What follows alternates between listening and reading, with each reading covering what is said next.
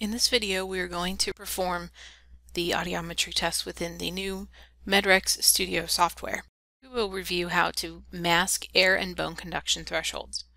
The purpose of masking is to measure the air conduction and bone conduction thresholds of an ear without the influence of the opposite ear. Crossover of the signal through the skull can cause the non-test ear to hear the tone presented and elicit a response before the test ear actually heard the tone. This would create the illusion of better thresholds in the test ear. When determining to mask, you want to compare the thresholds between ears and see if the interaural attenuation values of the transducers come into play.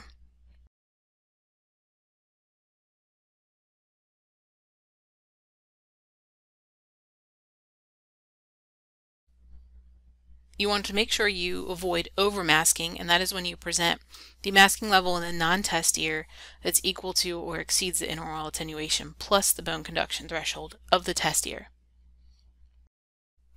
When masking the air conduction thresholds, you want to present the masking tone to the non-test ear at threshold plus 15 decibels and present the tone to the test ear at threshold. If the patient does not respond, increase the intensity of the tone in the test ear by 5 decibels and present again. If the patient responds, increase the intensity of the masking noise in the non-test ear by 5 decibels.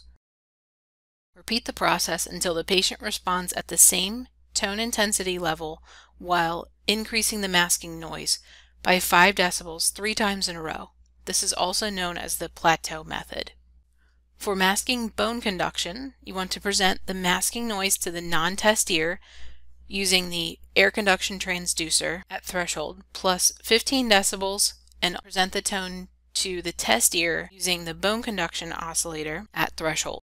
Make sure the test ear is not occluded by the air conduction transducer. If it is, you need to take into account the occlusion effect correction. If the patient does not respond, increase the intensity of the tone by 5 decibels in the test ear. If the patient does respond, increase the intensity of the masking noise in the non-test ear by 5 decibels. Repeat the process until the patient responds at the same tone intensity level while increase the masking noise by 5 decibels three times in a row, again also known as the plateau method. So in the Studio software you will see that we have a significant asymmetry in the thresholds that we plotted earlier. The right ear is significantly better than the left ear, and we need to mask that right ear in order to make sure that we do not get false thresholds for the left side. So in this case, we will make sure that we select the air conduction transducer, the left ear, and we also want to change any characteristics of the masking tone that we need to change. So the type of signal, the output, or the ear side. In this case, on the right side, we want to present the masking tone at 40 decibels, which is threshold, plus 15. So that brings us to 55. And we want to present on the left side at threshold, which is 85 decibels. When ready to present the masking, you need to instruct the patient to ignore the masking tone in that right ear and only respond when they hear the beeping tones or the continuous tone or whatever tone you're presenting on that left side.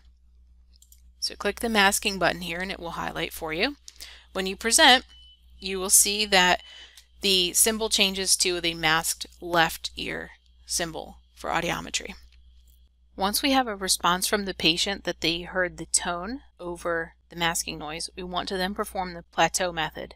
And the plateau method consists of three responses at the same tone levels, in this case 85 decibels, and we would increase and present again, increase masking, present again, and increase masking, present again. So we want to make sure that they respond three times at that masking level. We can then proceed to the remaining frequencies that need masking, and also from there you can move over to mask the bone conduction on the left side as well.